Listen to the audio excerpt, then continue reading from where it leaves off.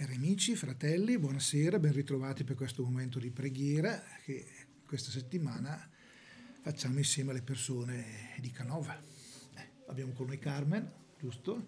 Benissimo, e poi arriverà anche Claudia, ma la prossima preghiera.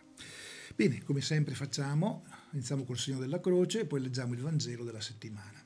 Nel nome del Padre, del Figlio e dello Spirito Santo. Dal Vangelo secondo Giovanni. In quel tempo Gesù disse a Nicodemo, come Mosè innalzò il serpente nel deserto, così bisogna che sia innalzato il figlio dell'uomo, perché chiunque crede in lui abbia la vita eterna. Dio infatti ha tanto amato il mondo da dare il figlio unigenito, perché chiunque crede in lui non vada perduto, ma abbia la vita eterna. Dio infatti non ha mandato il figlio nel mondo per condannare il mondo, ma perché il mondo sia salvato per mezzo di lui.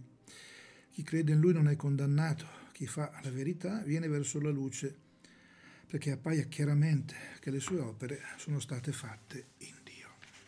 Ascoltiamo adesso da Carmen il commento di questo Vangelo.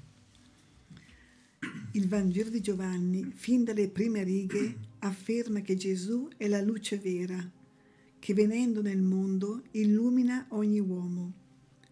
La luce deve fare i conti con le tenebre ed entra in conflitto con esse la luce, illuminando, mette in luce e fa verità. E questo non è sempre così piacevole da accettare.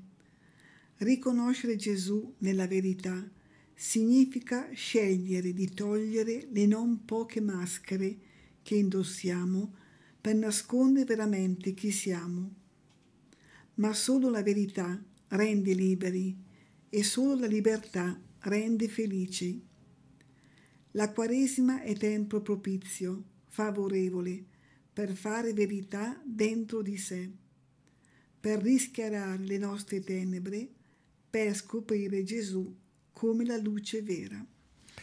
Come è importante la luce, eh? se entrassimo, magari quando eravamo piccolini avevamo paura di entrare in una stanza buia, poi arrivava la mamma, ti prendeva per mano e il buio rimaneva magari, ma lei era la luce che guidava dentro questo tenebre e Gesù è ovviamente infinitamente tutto questo, la sua compagnia ci guida, ci illumina e anche nei momenti difficili e tenebrosi lui è la nostra compagnia, la luce vera che illumina il mondo e soprattutto il nostro cuore. Bene, adesso preghiamo insieme dicendo Signore illuminaci con il tuo amore.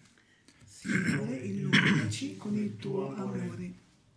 Ci inviti ad alzare lo sguardo al figlio dell'uomo innalzato sulla croce per avere la vita che non muore. Signore, illuminaci con il tuo amore. Ci chiedi non tanto di guardare ai crocefissi appesi al muro, ma di riconoscervi un Dio con le braccia spalancate. Signore, illuminaci con il tuo amore. Aiutaci a lasciarci accogliere e amare da te, perché anche noi viviamo da innalzati, traboccanti del tuo amore. Signore, illuminaci con il tuo amore. Preghiamo il Padre nostro, questa sera in particolare per ringraziare il Padre che ci ha mandato Gesù come luce della nostra vita. Padre nostro, che sei nei cieli, sia santificato il tuo nome venga il tuo regno, sia fatta la tua volontà, come in cielo così in terra. Dacci oggi il nostro pane quotidiano, rimetti a noi i nostri debiti, come anche noi li rimettiamo ai nostri debitori, e non abbandonarci alla tentazione, ma liberaci dal male. Abbiamo parlato della mamma che ci guida eh, da bambini nella stanza buia, nostra mamma più grande, la Madonna, davvero ci protegga sempre e ci guidi a Cristo. Ave Maria, piena di grazia, il Signore è con te. Tu sei benedetta fra le donne e benedetto il frutto del tuo seno, Gesù. Santa Maria, Madre di Dio, prega per noi peccatori, adesso e nell'ora della nostra morte. Amen nostri angeli custodiano il volto illuminato dalla luce di Cristo, chiediamo che ci proteggano e ci guidino sempre. Angelo di Dio, che sei mio custode, illumina, custodisci, reggi e governa me, che ti fui affidato dalla pietà celeste. Amen. Ringraziamo Carmen di questo momento di preghiera, ringraziamo voi che avete ascoltato, ci avete accompagnato e alla prossima, mi raccomando, continuate ad ascoltare questo momento di preghiera così semplice ma anche penso, spero, così bello.